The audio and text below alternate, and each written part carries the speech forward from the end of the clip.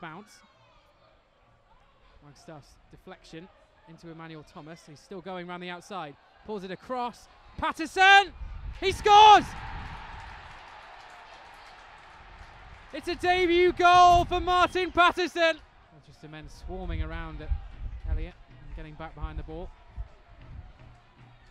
Maloney, this is nice. In low, Baldock. Wagstaff! It's off the line and in. Scott Wagstaff doubles Bristol City's lead. Ibehre. Bean might find its way in, and it is.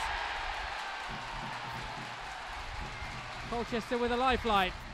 Bean. Sears on the turn with the shot. What a finish!